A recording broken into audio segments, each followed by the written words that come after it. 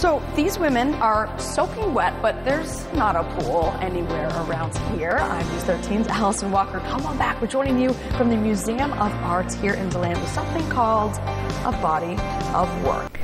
If you enjoy Madame Tussauds Wax Museum, there's a new place in Central Florida you should visit.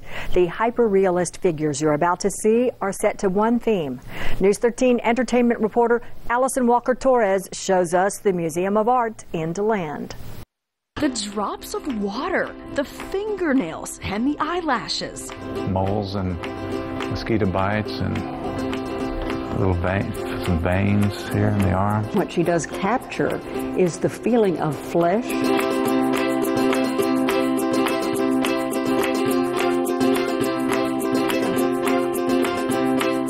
The detail is crazy. The detail is Because that's what takes the longest time. I mean, the veins on this pop out. And These figures are done by Carole Feuerman, a hyper-realist sculptor. They begin as casts. Even this tube is not real. It's solid, like all of these ladies. They appear real and caught in the act of daydreaming, playing, swimming, or any of the other things actual people do. She's not a serious swimmer. I don't think she'll make the Olympic team.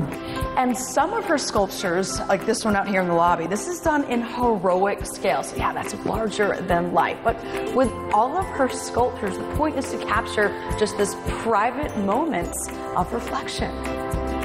Whether it's happiness, excitement, um, calmness. Oh, now she's great. You know what she looks like? A 1930s movie. There are statues, and then these are so realistic looking. It it takes my breath away. I mean, I just took a ceramics class, and like Ah. getting a final product out of like something you create molding with your hands is pretty insane. Body of Work is in town through July 3rd. In DeLand, I'm News 13 entertainment reporter Allison Walker Torres. Carole Feuerman Body of Work is on display at the Museum of Art in DeLand. The museum is open every day until 4 o'clock, except Mondays.